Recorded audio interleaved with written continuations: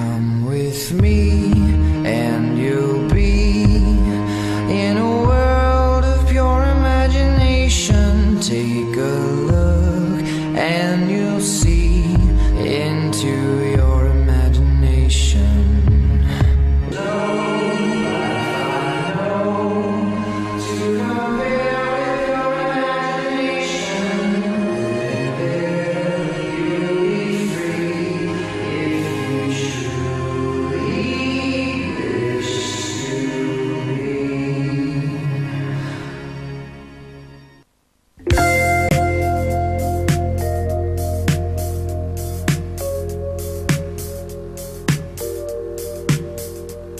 Prenderla con filosofia? Eh, mica facile. La capacità di accogliere senza sprofondarci sotto i fardelli che la vita ci impone presuppone, se non la conoscenza approfondita della materia, che è appunto la filosofia, almeno la beata incoscienza del nostro cervello.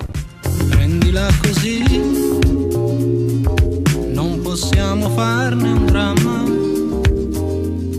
Chissà perché si dice prenderla con filosofia. Forse sarà perché alla parola filosofo associamo spesso l'aggettivo saggio.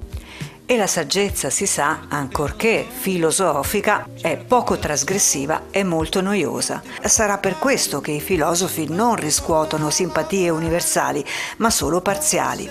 Eppure, cosa più della filosofia custodisce in sé una natura rivoluzionaria, ossia in grado di ribaltare lo status quo del pensiero dominante. Far capire questo concetto ad una platea di studenti non è cosa facile, ma se ci si riesce si otterrà molto più di una lezione di filosofia, forse una filosofia di vita. Ed è quello che cerca di trasmettere ai propri studenti un professore molto particolare, si chiama Tommaso Ariemma e per spiegare la filosofia è ricorso addirittura alle serie televisive è uno dei tanti originali incontri proposti dalla rassegna Tu per tu con l'autore promossa dal centro d'Abruzzo di San Giovanni Teatino all'interno della libreria Coop. Se come me avete qualche eh, resistenza o qualche avversione verso la filosofia, io ho fatto il liceo classico, me la sono trovata davanti e quindi non potevo non studiarla, però ehm, avevo delle avversioni o anche delle, se vogliamo degli schemi mentali che alcune cose mi impedivano di capirle.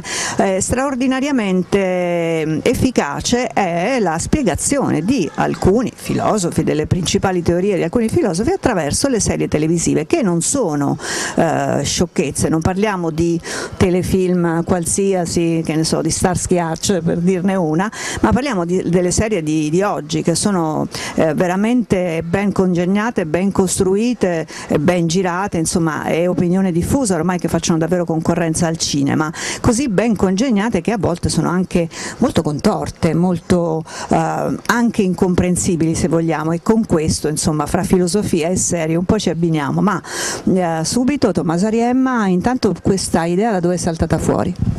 È saltata fuori al liceo eh, per interessare i ragazzi alla filosofia ho utilizzato le nuove serie tv, cioè le serie che contengono filosofia, che sono stimolanti filosoficamente parlando.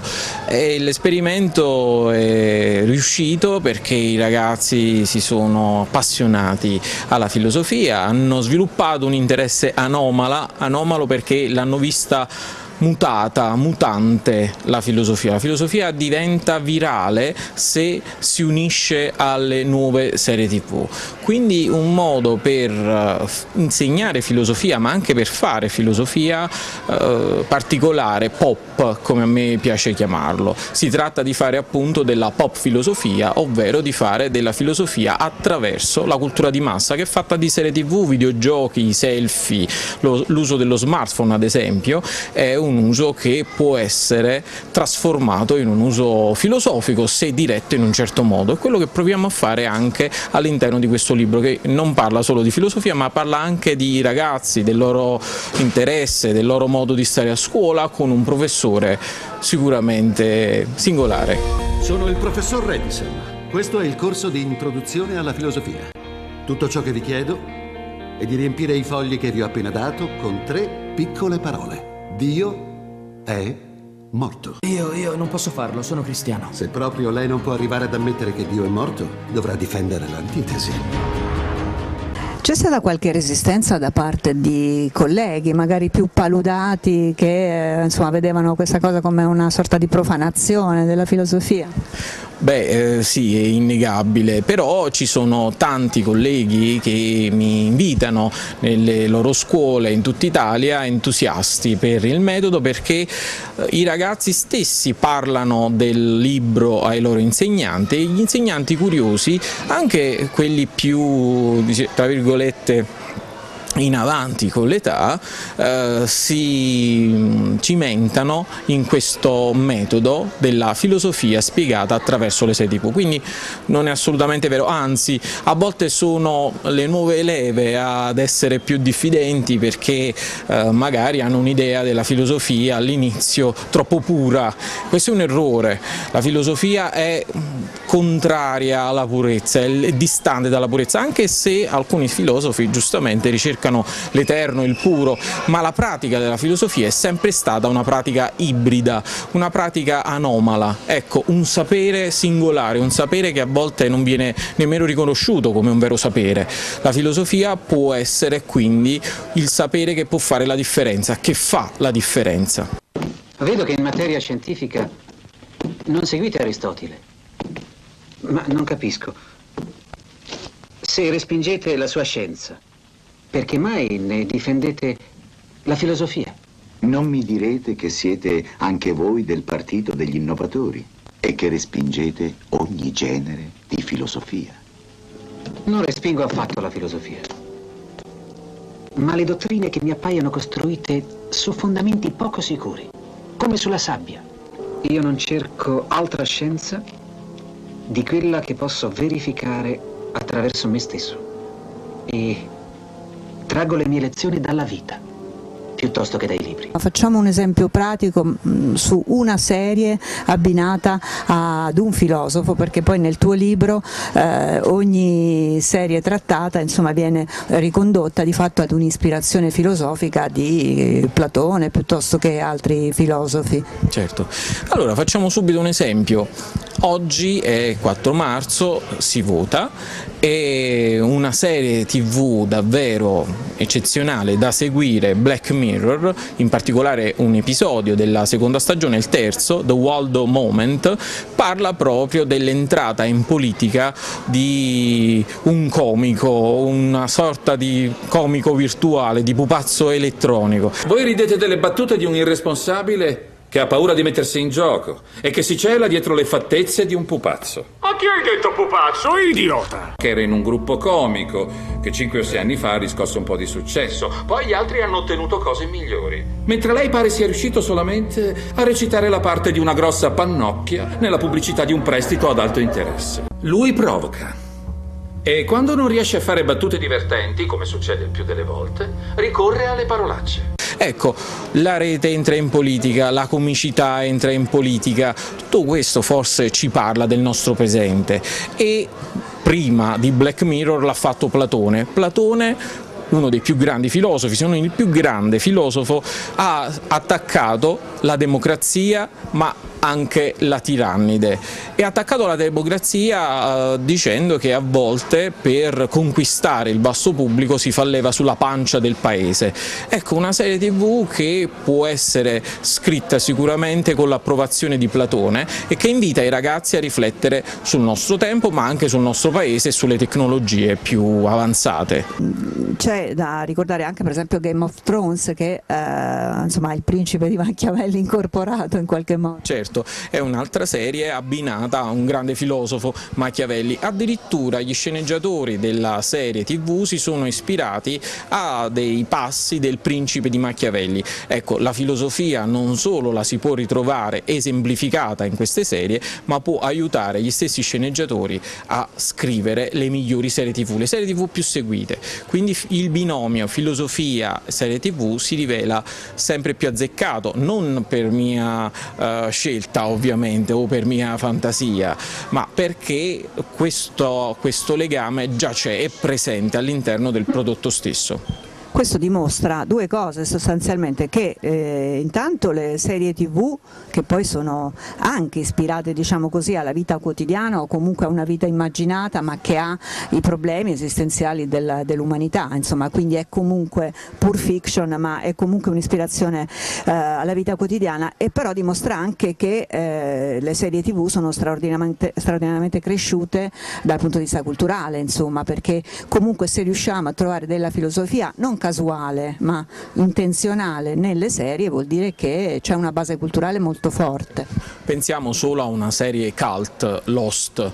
I protagonisti della serie tv hanno alcuni i nomi di celebri filosofi, John Locke, Rousseau, David Hume, quindi il riferimento alla filosofia è esplicito, un'altra serie tv che sta scuotendo molto successo su Netflix, Dark, cita Nietzsche, le teorie del tempo, insomma stiamo parlando di un prodotto culturale pensato di solito per la massa incolta e che invece azzarda, cita la grande filosofia, la filosofia è più complessa, Platone, Machiavelli, Nietzsche, Kant addirittura, quindi ci troviamo di fronte a una serialità matura, una serialità matura che sfida il cinema, come si è detto prima, e che anzi oggi gli stessi attori preferiscono a volte eh, girare serie tv piuttosto che film.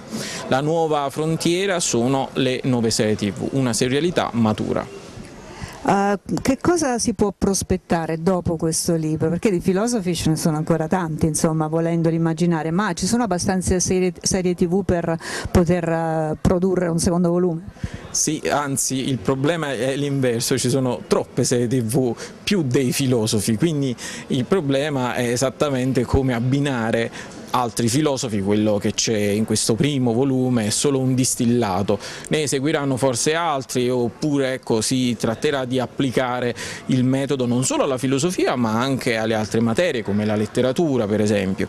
Non solo viene citata la grande filosofia ma anche la grande letteratura, penso a una serie che ha ottenuto numerosi riconoscimenti come il racconto dell'ancella che cita esplicitamente Orwell, una sorta di adattamento di Orwell tratto eh, il racconto dell'ancella da un romanzo di Margaret Atwood, quindi la grande letteratura, grande letteratura che i ragazzi incontrano a scuola con Orwell, ma grande letteratura contemporanea come i romanzi di Margaret, Margaret Atwood sono presenti all'interno della nuova serialità. Quindi, in futuro il metodo può essere applicato a tutte le materie, eh, bisogna oggi, eh, soprattutto a scuola, creare dei legami con la cultura di massa e non spezzare questi legami. I ragazzi devono ritrovare fuori quello che studiano eh, e approfondiscono in modo tale da poterlo subito applicare, come nel mio caso noi leggiamo la poetica di Aristotele per capire come sono fatte le serie tv e non solo le serie tv, tutti i prodotti efficaci di successo della cultura di massa seguono i principi della poetica, poetica di Aristotele, quindi attenzione, la filosofia non è una materia astratta, ma serve anzi per mettere su tutto quello che apprezziamo e seguiamo in modo a volte anche compulsivo, con la famosa dipendenza da serie tv.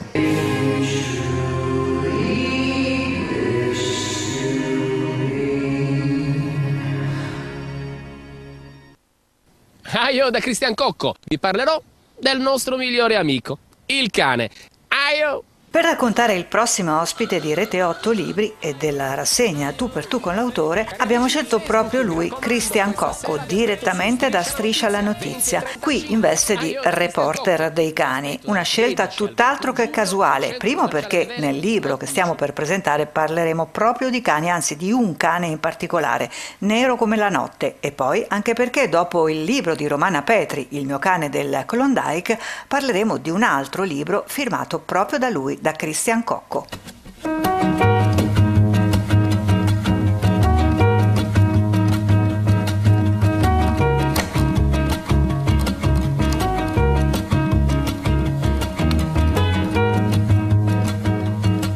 Il libro è Il mio cane del Klondike, l'autrice Romana Petri, qui alla Libreria Cop per parlarne. C'è una donna che mh, mossa a pietà dalla, da, da, questo cane nero che sta per strada, insomma decide di portarselo a casa e sono due vite che si intrecciano. Lui non è il cucciolotto buono che sta lì, ma è un, un cane di carattere, diciamo così, un carattere che necessariamente deve entrare in uh, contatto e possibilmente in sintonia con uh, la persona che lo ha portato a casa, non si dice più padrona, non so mai come definire un proprietario di cane, però diciamo eh, lei, perché Romana Petri ha deciso di ra raccontare la storia di questo cane? Allora io intanto ripartirei dal Klondike, eh, ripartirei dal Klondike perché questo è un omaggio d'amore al richiamo della foresta di Jack London. Eh, e ogni volta che nella mia vita ho pensato al nome Klondike ho avuto la stessa emozione che magari qualcuno può avere nei confronti della parola Momprashen per esempio. Buck vegliò il corpo del suo padrone per tutto il giorno. La morte, come il passare oltre la vita di ciò che vive, la conosceva e sapeva che John era morto.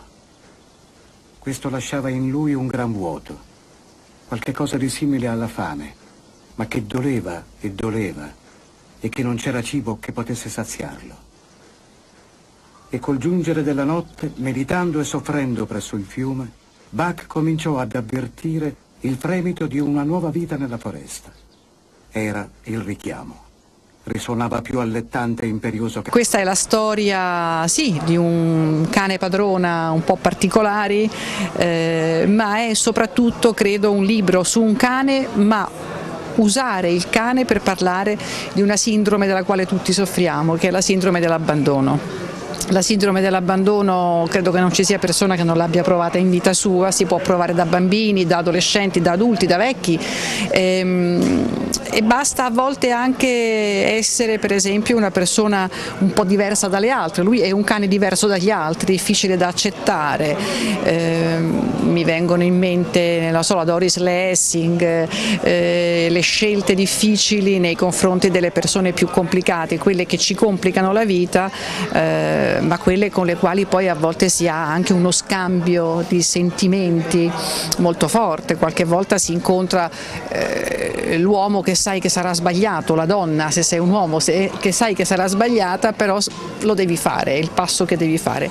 È anche un, una storia d'amore, una storia d'amore segnata dal destino, una storia d'amore eh, che non si poteva non, non vivere e c'è poi uh, alla protagonista, ah, dicevamo il nome, beh, perché è un anagramma della parola caos. Della parola caos, eh, della parola cosa, della parola eh, caso, no? e quindi è un osac, una cosa trovata per caso che diventa un caos in un certo senso, è stato un po' così e la protagonista che, se non vorrei mm, diciamo, dire tutti i dettagli del libro, però insomma a un certo punto le capita anche un, un evento importante, una gravidanza e, e mm, come insegnano le, già cartoni animati alla Lily e il vagabondo, ma non è questo il caso, però voglio dire per un cane che ha comunque una simbiosi e una vita con questa persona sente che il cambiamento sta arrivando.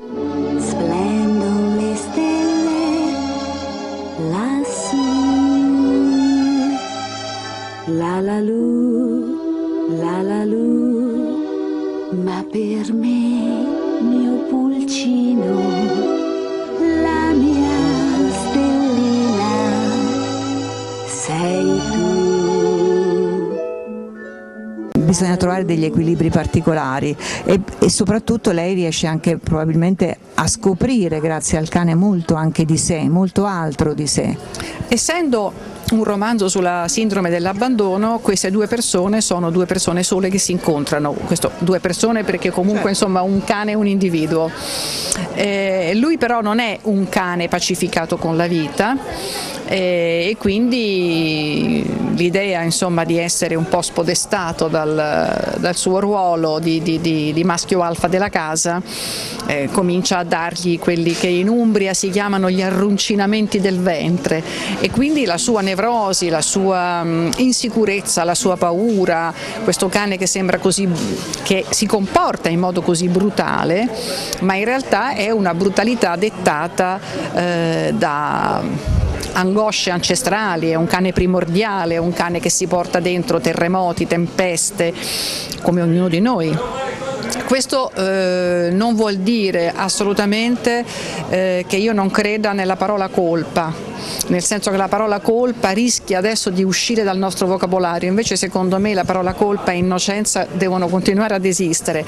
Lui però è un incolpevole, è un, è un, uh, un colpevole incolpevole, perché comunque è stato uno molto maciullato dalle, dalle esperienze del passato comunque nella scelta finale che poi ci sarà eh, vedremo che comunque l'umano non sa scegliere caninamente ma sceglie sempre umanamente e quindi con, minor, eh, con quel minor istinto, con quella minore passionalità che noi purtroppo possediamo in dote davvero minore rispetto all'animalità.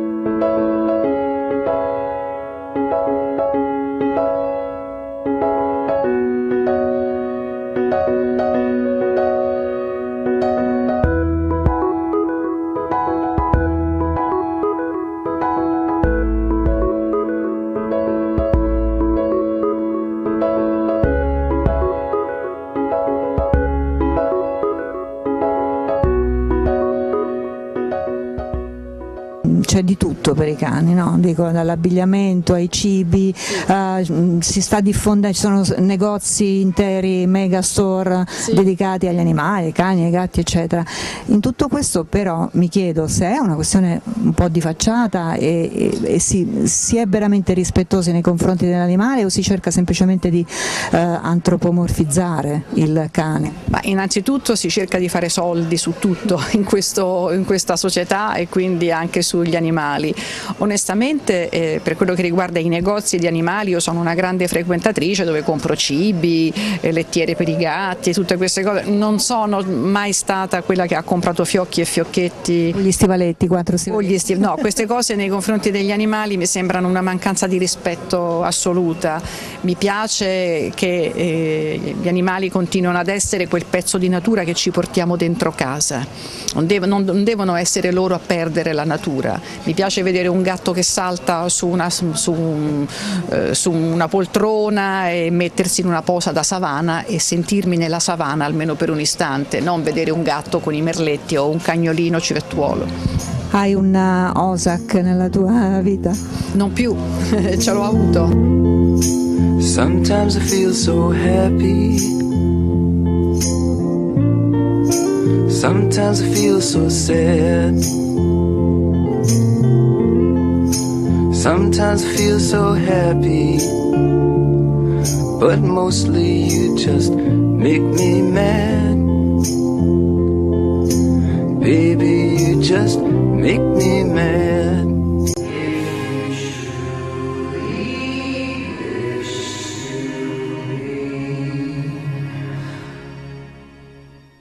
Ha voluto raccontare se stesso in questo libro che si chiama Semplicità, Felicità, Christian Cocco, un eh, titolo che già insomma un manifesto programmatico eh, del, di quello che significa la vita per te. Innanzitutto voglio salutare alla mia maniera da Christian Cocco per Rette 8, aiu! E quindi sì, semplicità uguale felicità, eh, sì, la dice tutta, no? molto spesso noi eh, personaggi della televisione, del mondo dello spettacolo veniamo un po' visti e veniamo giudicati per come ci trasmettono, eh, molto spesso, eh, perché oggi nel, in questo mondo caotico questa, eh, si, ci si guarda solo la superficialità e invece non si riesce ad analizzare e a vedere le persone per come sono dentro. Io mi sono messa a nudo in questo, in questo libro eh, perché si dà sempre per scontato, sai, questi sono famosi, sono ricchi, sono bello no, perché non, non, non lo sono, ehm, quindi eh, mi sono voluto un attimino dopo 18 anni di striscia la notizia, quindi di notorietà, sono diventato maggiorenne, ho detto proviamo a mettermi eh, così a nudo e far capire che poi dietro ogni personaggio c'è anche una persona con le sue fragilità e le sue debolezze. Hai parlato di fragilità, tutto questo, oltre che insomma il primo periodo, quello della, in cui ti affacciavi al, al varietà, al cabaret, alla, a quello che poi sarebbe diventato uh, inizialmente il tuo mestiere, racconti un po' insomma l'esordio in questo mondo in cui c'era bisogno anche molto di sgomitare, tu dici, anzi qualcuno ti sgomitava talmente tanto che proprio ti buttava giù dal palco quasi, eh, però piano piano il tuo spazio lo hai conquistato ehm, ed è arrivato proprio nel momento in cui quello spazio sembrava conquistato, un momento invece di fragilità e di debolezza eh, con delle crisi, degli attacchi di panico che ti hanno eh, insomma, turbato non poco. Eh, tutto è nato forse da quello, cioè tu stesso dici da lì, dalla necessità di uscire da quella situazione mi è stato consigliato di buttare giù nero su bianco i pensieri e, e senza immaginare che sarebbero anche finiti qui dentro, però oltre che un, un aspetto taumaturgico di questa cosa, insomma poi è arrivato anche un aspetto diciamo così librario. Brava, hai fatto proprio una, un riassunto del, del libro, è, è, come si suol dire non tutti i mali vengono per nuocere, il tutto nasce da una forza scatenante negativa, hai ragione, perché eh, proprio nel momento in cui del, del, culmine del mio successo nel 2012, eh, sai, ripeto, quando tu eh, abbracci la notorietà, poi magari eh, hai tutto, credi di avere tutto, pensi che tutto quello che hai ti sia dovuto. E allora entri in un meccanismo di un mondo dove sgomiti tantissimo e, e lasci, ehm, eh, ti dimentichi un po' quello che poi invece tu sei stato nella vita, no? le tue origini. Eh, io sono dovuto star male, Una, un pomeriggio stavo montando proprio un servizio di striscia la notizia, eh, sono venuto a crollare, io non conoscevo gli attacchi di panico, non sapevo neanche cosa fossero, sono stato male, mi girava il, proprio la, la, la, la stanza, mi hanno portato, mi sono trovato all'ospedale, lì hanno fatto poi le analisi e tutti gli accertamenti del caso, era tutto, uh, tutto a posto.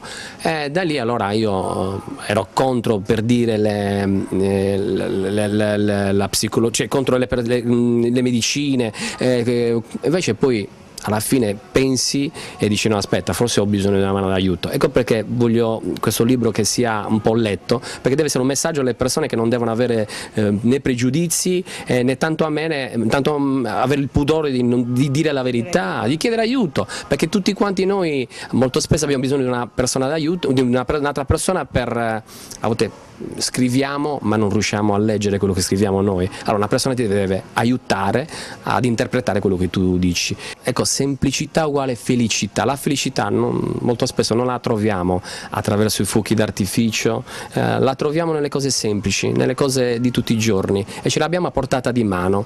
Quindi quello mi ha, mi ha rispolverato mi ha rifatto uh, tirar fuori quello che poi ero nel mio essere nella natura capito? Eh, però dovevo per sgomitare, che io non ho mai, neanche mai sgomitato, per difendere dal sgomitamento degli altri devi far parte di questo gioco. Non mi ci sono sentito più, ecco, non, non ce la facevo più e poi da lì in poi il successo è andato comunque avanti, non è che io l'ho perso, anzi l'ho anche guadagnato e credo di aver guadagnato anche in umanità, devo essere sincero, ho riscoperto il mio cuore. Ecco, nel risguardo qui nella, um, si legge, eh, mi hai descritto come un uomo buono come il pane. Non l'ho descritto io. eh, no, lo so, lo so, vieni descritto, infatti ho detto. Eh, perché secondo te ti hanno descritto in questo modo?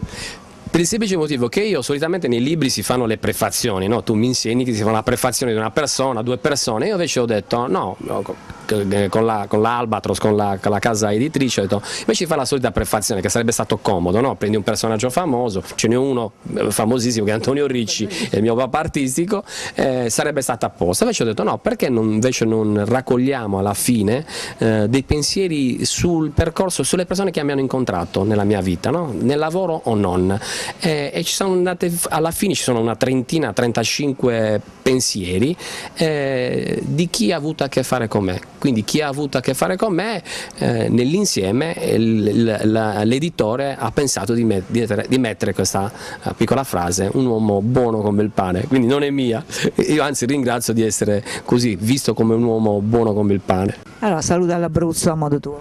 Da Cristian Cocco per tutto l'Abruzzo e per gli abruzzesi, aio!